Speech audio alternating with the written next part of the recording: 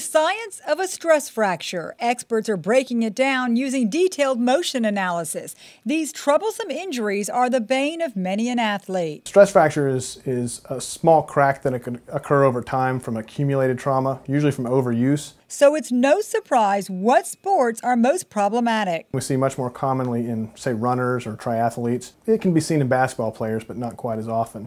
But this recent study of almost 2,000 military cadets is turning up some new findings that the angle of the knee during a foot landing increases the likelihood of a stress fracture and that women are three times more likely to get them. While weakness and overuse have long been associated with stress injuries, this was the first documentation of knee rotation and angle as a risk factor. The good news is that practicing better landing techniques may prevent harm. This is where it would be helpful to be referred to a professional physical therapist who could actually look at how you're running. Now I can see yeah. that you know your knees are turning inwards or your feet are turning outwards or you're very flat-footed or you're a very high-arched runner and then you know they can help you work on those things. In addition to biomechanical problems, women may be more stressed because of hormone levels, diet, and decreasing bone mass. All things that should be kept in check to remain active, healthy, and fracture-free. For Lee Memorial Health